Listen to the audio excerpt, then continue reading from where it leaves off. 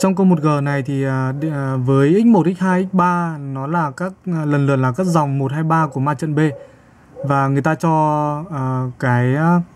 tập hợp L nó bao gồm tất cả các phân tích. Uh, nó là biểu diễn tuyến tính. Uh, tất cả các phân tích mà các vector này biểu diễn tuyến tính qua cái hệ vector x1, x2, x3 và khi đó thì cái tập hợp L uh, đề bài yêu cầu chúng ta phải chứng minh cái tập hợp L này nó là một không gian vector con của R4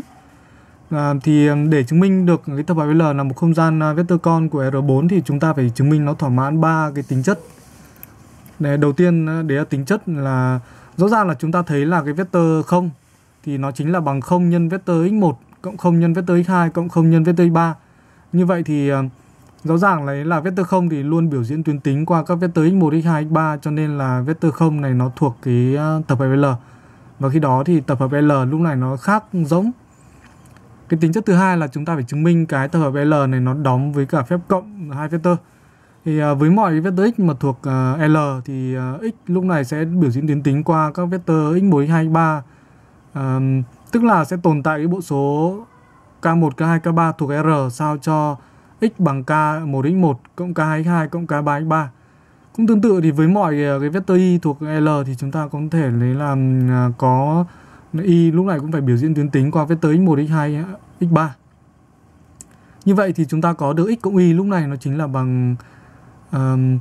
như tính toán ở đây thì chúng ta ra được ờ, x cộng y lúc này chính bằng k1 cộng l1 nhân x1,